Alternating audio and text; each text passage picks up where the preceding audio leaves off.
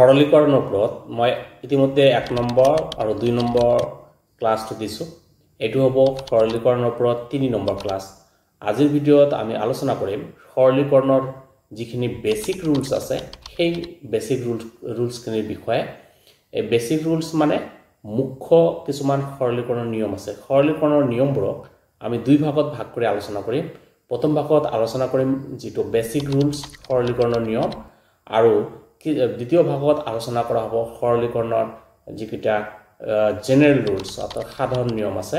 নিয়ম সৰলীকৰণ কাক বোলে? এই সম্পৰ্কে ইতিমধ্যে এটা ভিডিঅ' বনোৱা হৈছে যিসকল ছাত্ৰ ছাত্ৰীয়ে চোৱা নাই। সেইটো ভিডিঅ' চাই লওক। তাৰপিছত এইটো ভিডিঅ' চাব। যি নহওক আজিৰ ভিডিঅ'ত আমি আলোচনা কৰিম সৰলীকৰণৰ মুখ্য নিয়মখিনি। তেনেহ'লে এই সম্পৰ্কে আমি কম্পিউটাৰ স্ক্ৰীণত গৈ এই বিষয়ে ডিটেইলছ আলোচনা কৰিম।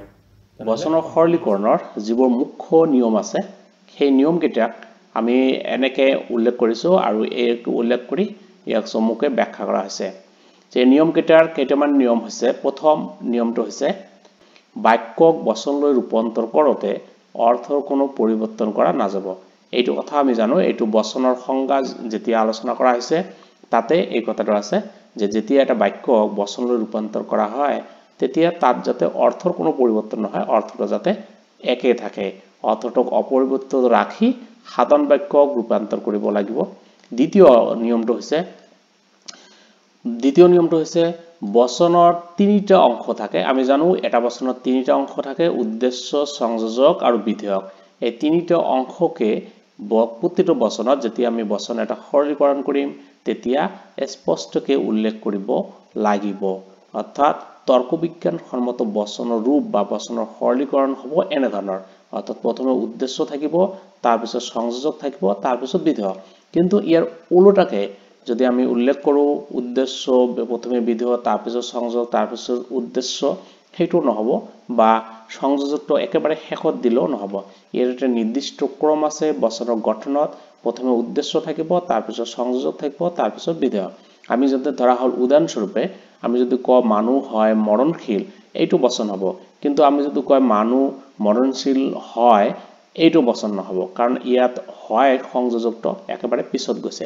গতিকে বচনৰ সৰলীকৰণ কৰিবলৈ হ'লে আমি বচনৰ ক্ৰম অনুসৰি উদ্দেশ্যৰ জেগাত উদ্দেশ্য থাকিব সংযোজকৰ জেগাত সংযোজক থাকিব আৰু বিধেয়ৰ জেগাত বিধেয় থাকিব লাগিব।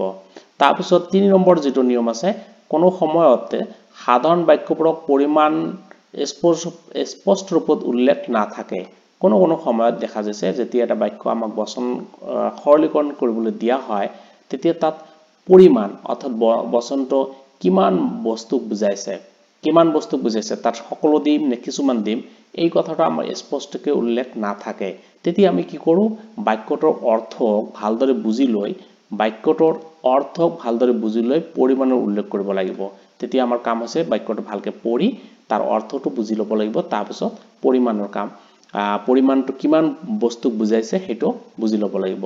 ধৰা হ'ল ইয়াত এটা উদাহৰণ দি আছে ধৰা হ'ল ফুল সুগন্ধি। এতিয়া ফুল সুগন্ধি বুলিলে কি কিমান ফুলক বুজাইছে? এইটো আমি ফুলৰ এই বাক্যটোৰ অৰ্থত দেখাইছে ফুল সুগন্ধি। অৰ্থাৎ চব ফুলটো সুগন্ধি নহয় গতিকে আমি এইটো বুজি যাব পাৰিব যে সব ফুল সুগন্ধি নহয় যিহেতু গতিকে কিছুমান ফুলকে বুজাইছে। সেইকাৰণে এই বচনটো আই বচন কৰা হৈছে। কিছুমান ফুল হয় সুগন্ধি তাৰমানে সকলো ফুলটো সুগন্ধি নহয়। কিছুমানে সুগন্ধি সেইকাৰণে এই ক্ষেত্ৰত যদিও কোৱা নাই সকলো কিছুমান একো উল্লেখ নাই। কিন্তু আমি ইয়াৰ অৰ্থ চালে গম পাওঁ যে এইটো কিছুমানকে বুজাইছে। এইটো হৈছে তিনি নম্বৰ ৰুল তাৰপিছত চাৰি নম্বৰ ৰুলটোত হৈছে সৰলীকৃত প্ৰত্যেক বাক্যৰ গুণ স্পষ্টকৈ উল্লেখ কৰিব লাগিব। তাৰমানে যেতিয়া কোনো এটা বচনক সৰলীকৰণ কৰা হ'ব বাক্যক তেতিয়া তাৰ গুণ অৰ্থাৎ গুণ বুলিলে কি বুজো আমি সদৰ্থক আৰু নৰ্থকক বুজো। বচনৰ সদৰ্থক সদায় ভূ ধাতুত ব্যৱহৃত হ'ব লাগে। এইটো কথা আমি সংযোজক যেতিয়া সংযোজকৰ যেতিয়া সৰূপ পঢ়িছিলোঁ তেতিয়া এই কথাবোৰ আমি জানিছিলোঁ। বচনৰ সংযোজক মানে সৰলীকৃত মানে সৰলীকৰণ কৰা যিকোনো বচনৰ সংযোজক সদায় স্পষ্টকৈ থাকিব লাগিব। অৰ্থাৎ হয় শব্দটো বা নহয় শব্দটো স্পষ্টকৈ উল্লেখ থাকিব লাগিব। হয় ক'ত বহিব? যদি বাক্যটো সদৰ্থক হয় তেনেহ'লে হয় হ'ব। আৰু যদি বাক্যটো নৰ্থক হয় তেনেহ'লে নহয় হ'ব। বচনৰ বিধেয় পদৰ লগত কেতিয়াও নেতিবাচক চিহ্নক নেতিবাচক চিহ্নক যুক্ত কৰিব নোৱাৰি। তাৰমানে বচনৰ বিধেয় পদত আমি কেতিয়াও নেতিবাচক চিন ব্যৱহাৰ কৰিব নোৱাৰোঁ। উদাহৰণস্বৰূপে যদি কোৱা হয় বহুতো ছাত্ৰ ভালদৰে পঢ়া শুনা নকৰে। ইয়াত নকৰেত আছে নেতিবাচক চিনটো উল্লেখ আছে নকৰত মানে ন শব্দটোৰ দ্বাৰা নেতিবাচক মানে নাবোধক এটা কৰি দিয়া হৈছে। গতিকে বিধেয় পদত যেতিয়া বচনত আমি সৰলীকৰণ কৰিম তেতিয়া নটো লাষ্টত থাকিব নোৱাৰিব ই মাজত আহিব কাৰণ সংযোজকত আহিব। যেনেকে কিছুমান ছাত্ৰ নহয় এনে যিসকলে ভালদৰে পঢ়া শুনা কৰে ইয়াত নকৰে আছিল এইটো কৰে হৈছে কিন্তু ইয়াৰ নটো আহি আমি ব্যৱহাৰ কৰিছোঁ ক'ত? ইয়াত নটো আমি ব্যৱহাৰ কৰিছোঁ এই সংযোজকত। আমি সংযোজকত এই নটো ব্যৱহাৰ কৰিছোঁ। গতিকে এইটো হৈছে বচনৰ সৰলীকৰণৰ এটা নিয়ম য'ত আমাৰ আমি ব্যৱহাৰ কৰিব লাগিব যে ইয়াত বিধেয়টো যাতে কেতিয়াও বিধেয় ইয়াত এই নহয়টো এই নহয়ৰ নটো আছিল নকৰে ইয়াত আছিল। কিন্তু ইয়াৰ পৰা আনি আমি ইয়াত ব্যৱহাৰ কৰিছোঁ। তাৰমানে যেতিয়া আমি কোনো বচনক সৰলীকৰণ কৰিম তেতিয়া তাৰ নহয় শব্দটো নহয় মানে নকৰে নাযায় নাখায় এই শব্দবোৰ যেতিয়া লাষ্টত থাকিব সেইটো তাৰ পৰা উঠাই দি নহয় আমি সংযোজকটো নহয় হিচাপে ব্যৱহাৰ কৰি এই এইটোক বিধেয় পদটোক সদৰ্থক কৰিব লাগিব। এক কথাত বচনৰ বিধেয় পদৰ লগত আমি কেতিয়াও নেতিবাচক শব্দ ব্যৱহাৰ কৰিব নোৱাৰোঁ। এইটো সদৰ্থক বচনে হওক বা নৰ্থক বচন হওক। বিধেয় পত্ৰত নেতিবাচক শব্দ নাথাকিব। যদি নেতিবাচক শব্দ থাকিব লাগে তেনেহ'লে সংযোজক থাকিব। ছয় নম্বৰ নিয়ম হৈছে আমি অসমীয়া ভাষাত বহুতো সময়ত দেখা যায় যে আমাৰ অসমীয়া ভাষাত কিছুমান ক্ষেত্ৰত বাক্যৰ সংযোজক উজ্জ থাকে স্পষ্টকৈ উল্লেখ নাথাকে। কিছুমান ক্ষেত্ৰত সংযোজকটো স্পষ্টকৈ উল্লেখ নাথাকে।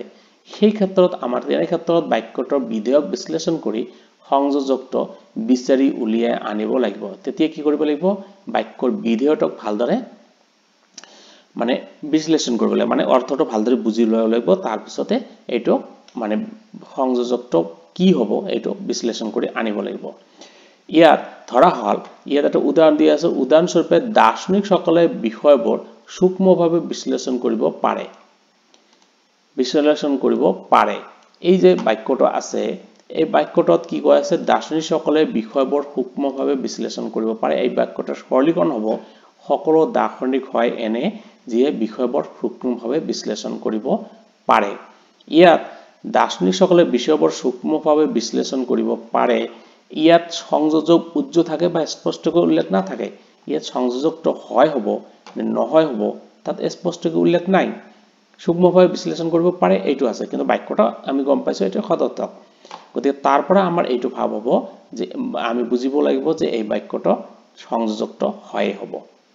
তাৰপিছত আছে সাত নম্বৰ নিয়ম। কোনো কোনো সময়ত বাক্য এটাক আকাৰৰ দিশৰ পৰা সদৰ্থক হ'লেও অৰ্থৰ দিশৰ পৰা নৰ্থক হ'ব পাৰে।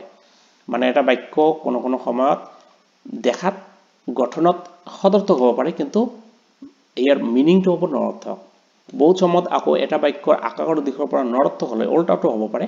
কেতিয়াবা কিছুমান ক্ষেত্ৰত এটা বাক্য নৰ্থক হ'ব পাৰে কিন্তু তাৰ মিনিংটো হ'ব পাৰে সদৰ্থক। তেনে ক্ষেত্ৰত এটা বাচনক ৰূপান্তৰ কৰাৰ সময়ত গুণৰ স্পষ্ট উল্লেখ প্ৰয়োজন এই ক্ষেত্ৰত আমি কি কৰিব লাগিব? গুণটো স্পষ্টকৈ উল্লেখ কৰিব গুণ মানে সদৰ্থক বা নৰৰ্থক। হয় বা নহয়? এই সংযোজকটো আমি স্পষ্টকৈ উল্লেখ কৰিব লাগিব। উদাহৰণস্বৰূপে ইয়াত উদাহৰণ দিয়া আছে মানুহক কদাচিত সুখী তাৰমানে মানুহ কদাচিতহে সুখী। এই উদাহৰণটো চোৱা। মানুহ কদাচিত সুখী মানে তাৰমানে মানুহ বেছিভাগে সুখী নহয়েই সেইকাৰণে ইয়াত এইটো যদিও বাক্যটো সদৰ্থক কিন্তু ইয়াৰ মিনিংটো হৈছে নৰ্থক। গতিকে ইয়াক সৰলীকৰণ হ'ব এনেকুৱা, অবচন কিছুমান মানুহ নহয়, সুখী।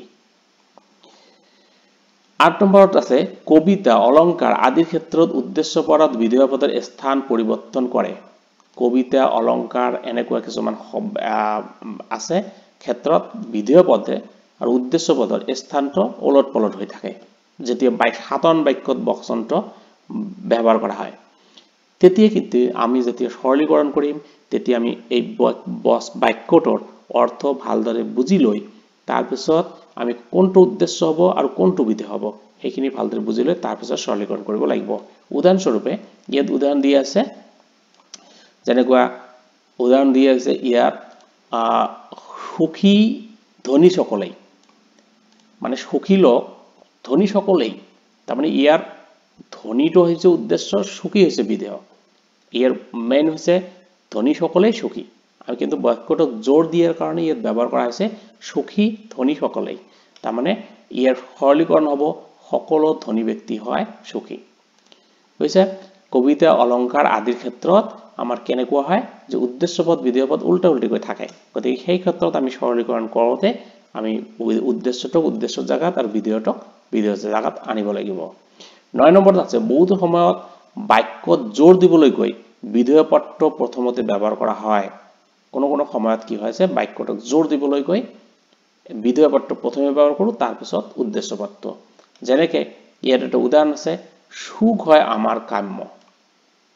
মানে একচুৱেলি জোৰ এই বাক্যটোত জোৰ দিয়াৰ কাৰণে আমি এনেকে ব্যৱহাৰ কৰিছোঁ সুখ হয় আমাৰ কাম্য। কিন্তু প্ৰকৃত বাক্যটো মানুহৰ কাম্য হৈছে সুখ এনেকুৱা হ'ব বাক্যটো। গতিকে সেইকাৰণে ইয়াক সৰলীকৰণ কৰিছে মানুহৰ কাই সৰলীকৰণ হ'ব মানুহৰ কাম্য হয় সুখ গতিকে এইটো হৈছে ইয়াৰ সৰলীকৰণ। তাৰপিছত লাষ্ট যিটো নিয়ম আছে বেচিক নিয়ম মুখ্য নিয়ম সৰলীকৰণৰ বহুতো ক্ষেত্ৰত বচনৰ সৰলীকৰণ এটা সুৱালা কৰিবলৈ উদ্দেশ্য পদৰ লগত ব্যক্তি জীৱ বস্তু লোক আদি যোগ দিয়া হয়। মানে কোনো কোনো ক্ষেত্ৰত বচনটোক এইটো এনেকুৱা নহয় ধৰাবন্ধ নিয়ম নিদিলেও হয় একো কথা নাই। কিন্তু লিখনিটোক সুৱালা কৰিবলৈ আমি কেতিয়াবা উদ্দেশ্য পদৰ লগত ব্যক্তি জীৱ বস্তু লোক আদি শব্দ ব্যৱহাৰ কৰোঁ। ধৰা হ'ল যেনে কেৱল ধাতুৱে মূল্যৱান। এই বচনটোক যেতিয়া আমি সৰলীকৰণ কৰিম তেতিয়া আমি এনেকৈ ব্যৱহাৰ কৰিম সকলো মূল্যৱান বস্তু হয় ধাতু।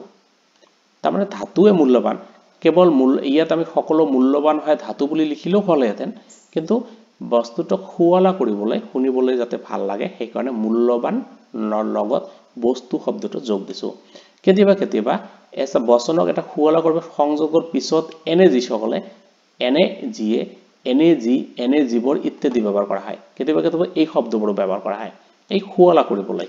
এনেকুৱা ধৰাবন্ধা নিয়ম যে আমি এইটো ব্যৱহাৰ কৰিব লাগিব কিন্তু সুৱলা কৰিবলৈ ব্যৱহাৰ কৰা হয়।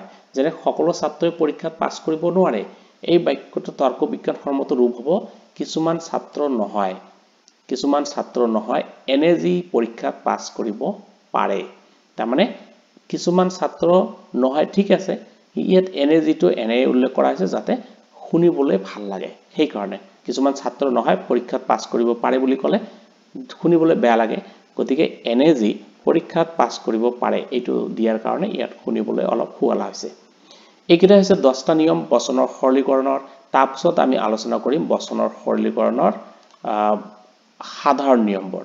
এই সাধাৰণ নিয়ম আমি পিছৰ ক্লাছত আলোচনা কৰিম। আজিৰ ক্লাছত কেৱল আলোচনা কৰিছোঁ বচনৰ সৰলীকৰণৰ মুখ্য নিয়মবোৰ। যদি ভিডিঅ'টো ভাল লাগিছে যদি কিবা বুজাত অসুবিধা হৈছে কমেণ্ট কৰিব। ক্লাছবোৰ চাবলৈ মোৰ চেনেলটো ছাবস্ক্ৰাইব কৰি ছাপোৰ্ট কৰিব। ধন্যবাদ।